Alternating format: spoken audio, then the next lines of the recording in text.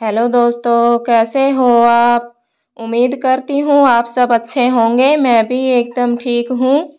तो आज मैं बनाने जा रही हूँ आंवले और हरी मिर्च का अचार।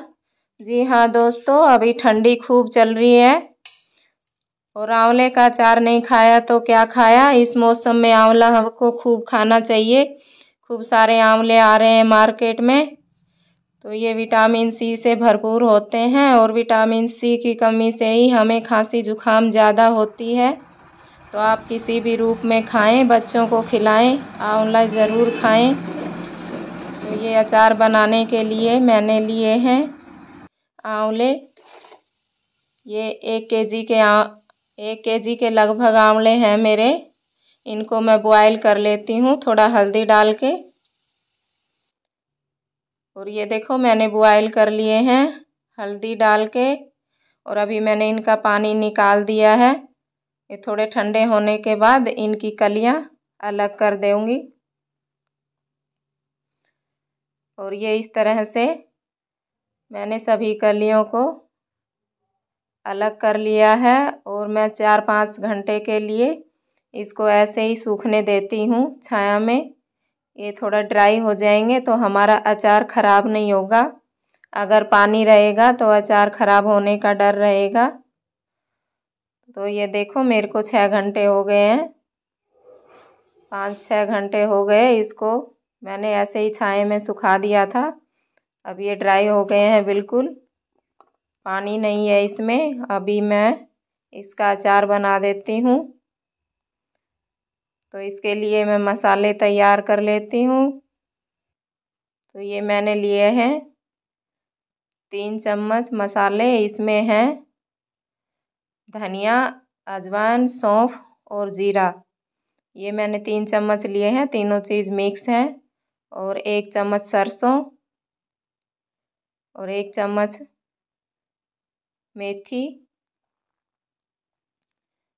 इन सभी को थोड़ा सा रोस्ट कर लेते हैं ताकि इनका कच्चापन ख़त्म हो जाए और हमारा अचार ख़राब नहीं हो। ये बहुत जल्दी चटकने लगते हैं।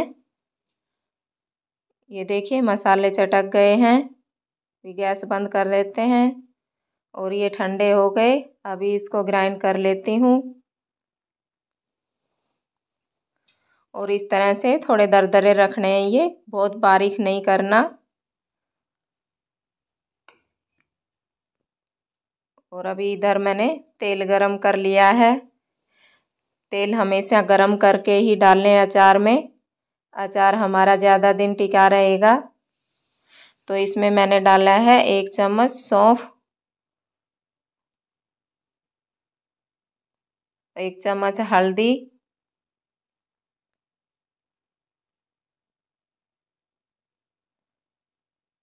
और एक चम्मच मिर्च।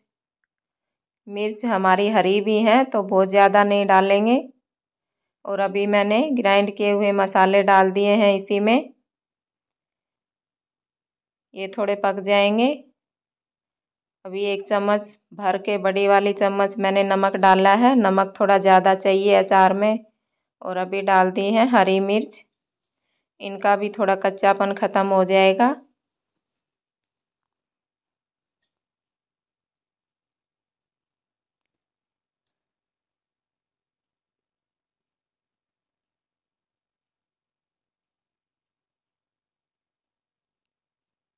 ये मसाले अच्छे से पक गए हैं।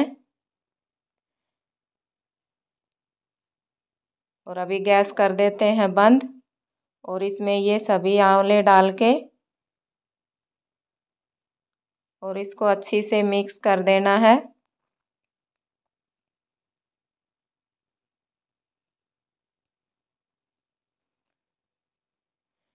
इस तरह से मिक्स करना ताकि हमारा कोई आंवला बिना मसाले तेल वाला नहीं रहे।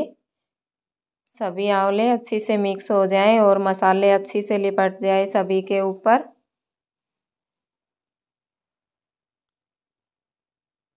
और अब इसको एक दिन ऐसे ही रखते हैं इसी पतीले में ताकि कल तक हमारा मसाला अच्छी से फूल जाए। उसके बाद हम जार में डालेंगे इसको अच्छी से मिक्स करके। अभी जार में डाल देंगे तो मसाला फूलेगा, उसके बाद हमें आइडिया नहीं रहेगा कि कैस, किस तरह से मिक्स करना है। तो इसी में रहने देते हैं और ये अगले दिन देखो, मसाले अच्छी से फूल गए। अभी ये जार है मेरे पास कांच का, इसमें डाल लेती हूँ।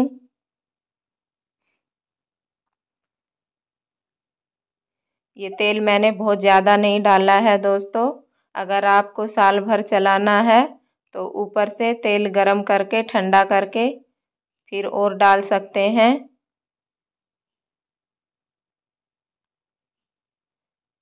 लेकिन मैं तो ऐसे ही रखती हूँ, तब भी ख़राब नहीं होता। खूब चलता है ये अचार, क्योंकि हमने सब चीज़ पका के डाली हैं। तो दोस्तों, आपको मेरी वीडियो कैसी लगती हैं? अगर अभी तक मेरा चैनल सब्सक्राइब नहीं किया है तो प्लीज़ सब्सक्राइब करें।